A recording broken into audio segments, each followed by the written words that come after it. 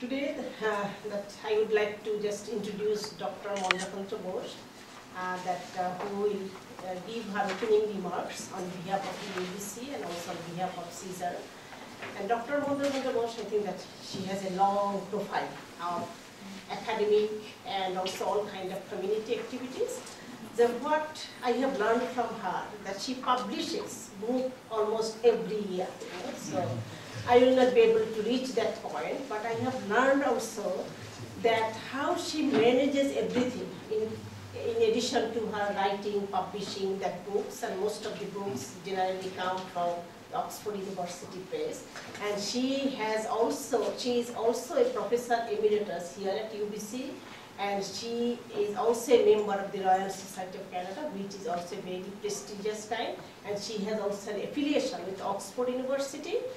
But she is also well known here that she knows how to work with the staff, you know, that the mm-hmm. staff get very well behaved when our Didi is here, Dr. Mandakranta Bose, and we also behave really well. So you know how she is, so I don't like to introduce her anymore. Today she will give that opening remarks here, and I thank, really, I very much appreciate her uh, that to support this conference when I conceived it almost one year ago. And she unconditionally supported this conference, not only in terms of just her emotional and professional scholarly support, but in terms of the financial support and also in terms of giving this accommodation, which is really a privilege to do that. And foods and everything are also coming from the fund, especially that was approved by Dr. Mandakranta Bose and that hard team here. So thank you so much.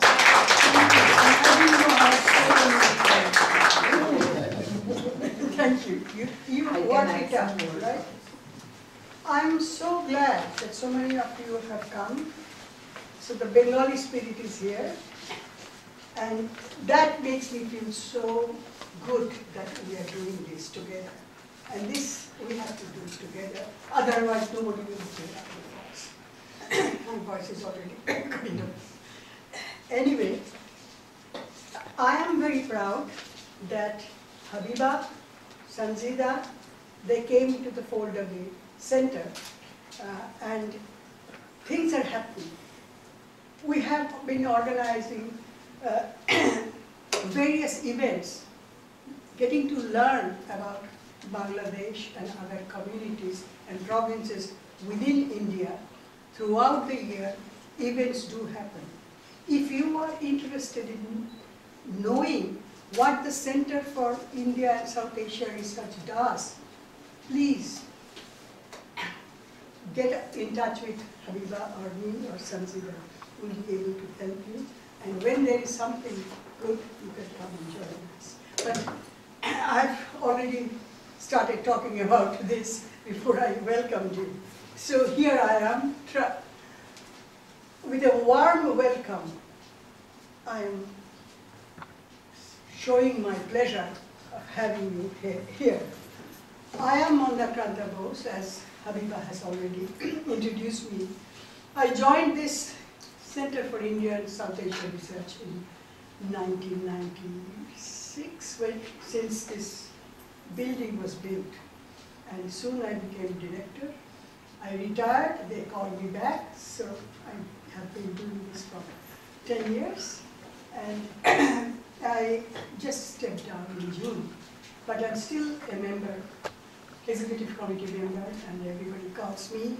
I'm part of this IER family, CSER family, where I feel I belong.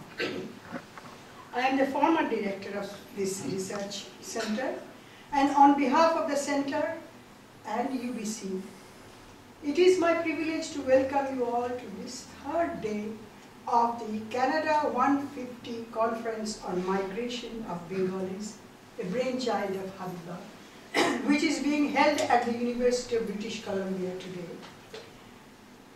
Before we begin, I would like to acknowledge the traditional, ancestral, unceded territory of the Musqueam First Nation, this territory is Musqueam First Nation territory, upon which the university stands. This conference, which is on its third and last day, began its inaugural session on the evening of 15th September with a Bharatanatyam performance by Arno Kamalika, a Bengali. She also danced excerpts from Tagore's dance dramas Chandalika and Chitrangada to welcome you all and offering you a feast for your eyes so that you may savor a sample of the riches that the culture of Bengal possesses. And we haven't forgotten it. The second day was spent at the SAP Harbor Center campus downtown, where we all met to listen to speakers of their experiences and observations on their lives as immigrants to Canada, in Canada. Yesterday, we covered a large area, beginning with a keynote lecture by Professor Tania Dasgupta, a Torontonian Bengali, who questioned what it means to be a Bengali Canadian. This was followed by a very lively discussion on the Bengali identity in the diaspora. The discussion then moved on to migration and settlement, history, demography, religion, as well as health issues within the Bengali diaspora. We then heard papers dealing with gender, culture, family and work. The day ended with a discussion of multiculturalism and social justice issues and providing information about Bengali organizations. Today is the final session. It's going to open with an ethnographic account of migration, identity, and contribution of Bengalis to Manitoba by tomorrow's, by today's keynote speaker, Emdad Haque. We will then be moving on to the issue of Canadian Bengali youth and their social and cultural identity and the shaping influence of their family life. Finally, more experiences of Bengalis in settling down and the community service they have found in Greater Vancouver will be discussed. We will end our day with discussions of the political and social impact of multiculturalism on Bengali lives in their adopted country and ending with roundtable workshops with participants from the members of the Bengali community. Now, this conference has come to fruition through the vision of vision and unflagging effort of Professor Habiba Zaman of SFU, who is also a contributor to the center's research endeavors. I may mention that many years ago, in 1994, the center, our Center for India and South Asia Research, organized a conference of Canadian Bengalis to discuss Bengali culture. From the small beginnings, we have now pro progressed to this much more comprehensive conference thanks to Dr. Habiba Zaman's energy and vision, ably supported by Dr. Sanjida Habib. Dr. Zaman has put together this conference by inviting people of Bengali origin from many parts of Canada to share the Bengali diasporic experience in Canada. It is a special event for and by Bengali-speaking Canadians who migrated from their homelands to Canada.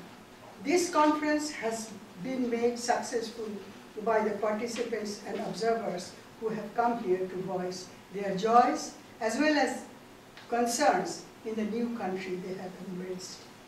Dr. Zaman's initiative has brought us together to learn about our achievements, armed against the many challenges that an immigrant population is bound to face.